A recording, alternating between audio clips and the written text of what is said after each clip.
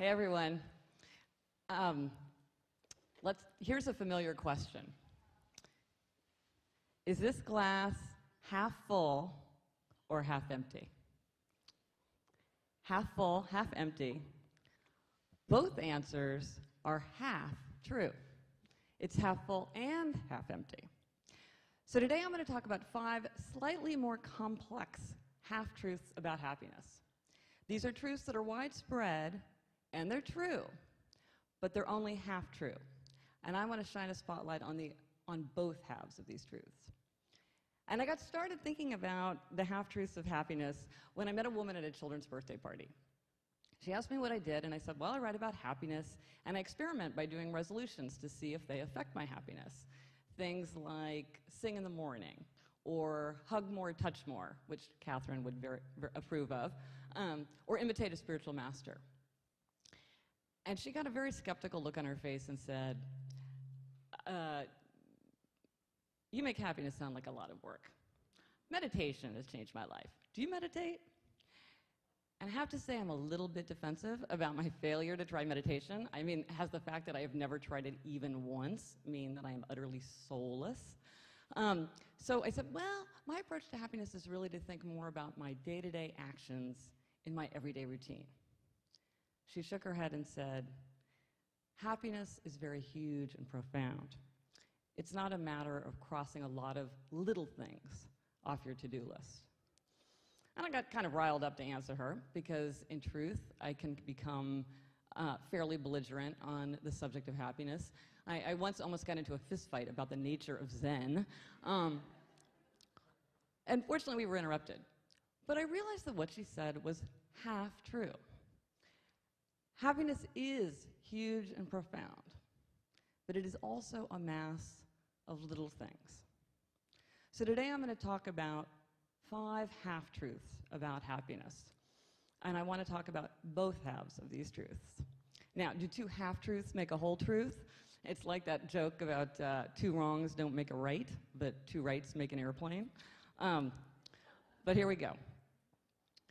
The, the first half truth about happiness was most famously stated by Jean Paul Sartre, pardon my French, um, who said, Hell is other people. Hell is other people. Heaven is other people too. Ancient philosophers and contemporary scientists agree that a key, and maybe the key, to happiness is strong relationships with other people. To be happy, we have to have long term, intimate relationships. We need to feel connected. We need to belong. We need to be able to get support. And just as important for happiness, we, able, we need to be able to give support. So, what are the implications of this? Well, one thing is to just show up. I mean, Woody Allen said that 80% of success is just showing up. And 80% of relationships is showing up, making the effort. And one thing that's very effective is to join a group. And whether it's a group about anti gravity juggling or figuring out a million ways to make the world happier or dog training or yoga or learning a language or supporting an important cause, joining a group strengthens relationships. I love reading children's literature and young adult literature.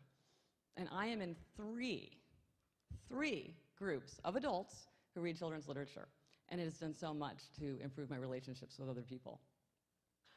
And another thing, and this is not a shock, is do something kind for someone else. Do good, feel good. Really works. I had a friend who went through a terrible period in her life. She got fired, she got rejected from the graduate program that she applied to, and her long term boyfriend broke up with her. And she's okay now. but I said, How did you get through it? What did you do? And she said, I was practically addicted to doing good deeds. It was the only thing that made me feel better. Now, of course, we should do good for others because it is the right thing to do. But it's also true that one of the best ways to make yourself happy is to make other people happy, even with small gestures like picking up other people's trash or signing up to be an organ donor. Now, the second half truth about happiness is to think that happiness is all in your head. Well, happiness is in your head, but your body also matters tremendously to happiness. And your physical experience is always going to color your emotional experience. And so, one of the things that's important to think about is energy. A sense of energy is very tied to a sense of happiness. So, what do you think about? Now, this is so basic, I should not even have to say it, but you have to start at the basics. You have to get enough sleep. Raise your hand. How many people here get at least seven hours of sleep regularly? You have to get enough sleep. Many adults are chronically sleep deprived, and they kid themselves into saying that, oh, I've, I've trained myself to get by on five hours of sleep. But these people are quite impaired. Lack of sleep affects mood, memory, focus, immune function. In one study about why people were in bad moods at work, one of the top reasons was a bad night's sleep. The other was tight work deadlines. In the same vein, you need to be active. You do not need to train for the marathon, but you just need to get out and walk around 10 or 15 minutes. Um, exercise is like this magical elixir because it calms you down and also energizes you. But let's say you're in an emergency and you need a quick fix right now of a way to connect to your body and a way to give yourself a jolt of good cheer. What can you do? Just jump up and down a few times. It's lighthearted, it's energetic, it's childlike, it's kind of goofy, especially if anybody's watching, and you will get that fix of good cheer and energy right away.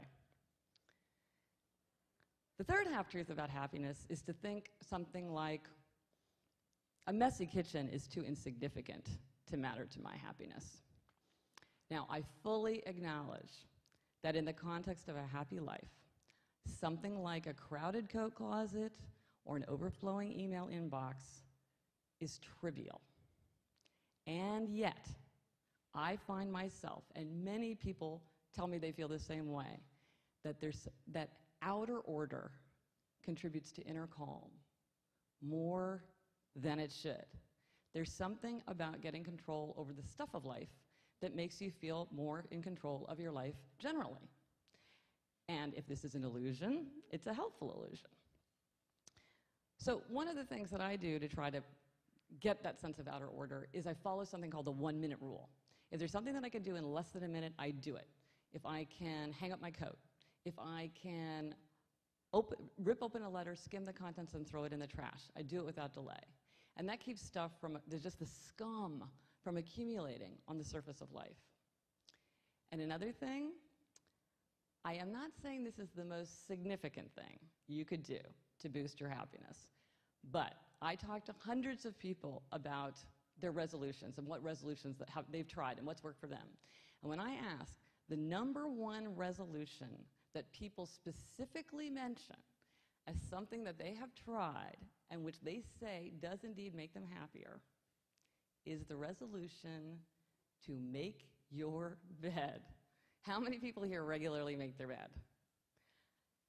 There's something about making your bed. It's, it's, you cross it off your to do list first thing in the morning. It's manageable, it's realistic. A room looks so much better with the bed that's made. Plus, you can find your shoes. And the fourth half truth about happiness is to think happiness should make me feel happy. Researchers say that novelty and challenge, what I would call growth, is a key element to happiness. And I have to confess, when I first heard this, I thought, well, you know, maybe that's true for other people. But that's not true for me. Because I like familiarity and mastery. I like, you know, I, I eat the same food every day. I rarely leave my neighborhood. I like to read and write, and that is about all. But I've come to realize that even for someone like me, growth is a key element to happiness.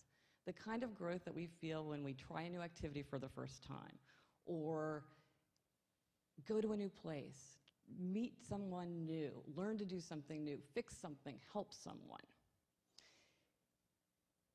But while we get a big boost in happiness from growth, growth also brings with it feelings of fear, anxiety, and frustration.